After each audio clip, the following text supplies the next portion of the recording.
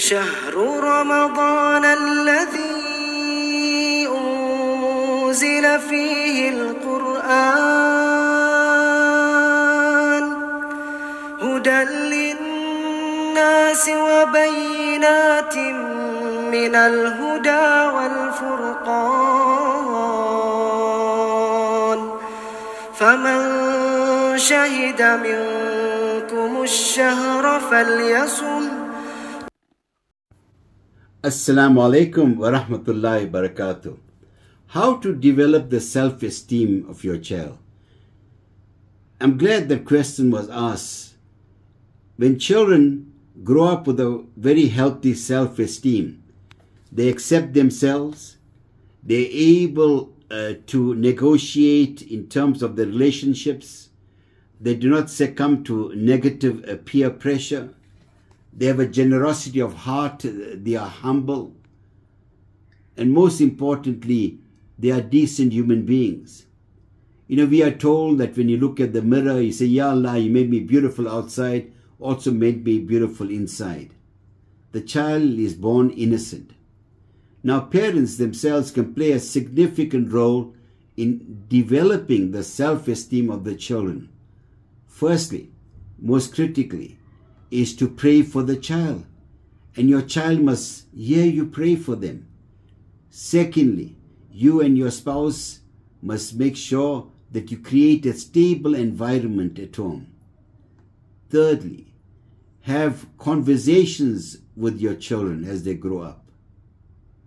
Fourthly, give them a hug, affirm them, validate them, tell them that you love them. The next thing, give them positive attributes. Say to them, Hey Muhammad, Fatima, you know what? You're going to be a leader someday. We cannot thank Allah enough that you are with us, that Allah has given you, given you as a gift to us. The other very important thing about self-esteem is to teach them some skills. When you learn some skills, what does it do? It makes you feel good it gives you a, a sense of pride and make them understand you what is success. We need to redefine what is success not the way success is defined today. And do not judge them by the achievements but judge them uh, by the effort. So the long and short of it all is this that when it comes to self-esteem to understand it is basically having a healthy self-concept, that you love yourself, you have a, there is self-acceptance, you are able to self-motivate yourself, you are able with confidence, uh, you know, engage uh, and meet other people.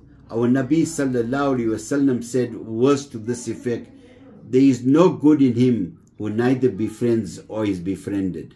So the long and short of it all, if you affirm your children, if you appreciate them, if you validate them, if you give them affection, you give them attention, and give them positive attributes, then you are developing a child with a very, very healthy self-esteem. This is Edris Khamissa saying, I like it. Assalamu alaikum wa rahmatullahi wa barakatuh. سبحان ربك رب العزة عما يصفون وسلام على المرسلين والحمد لله رب العالمين.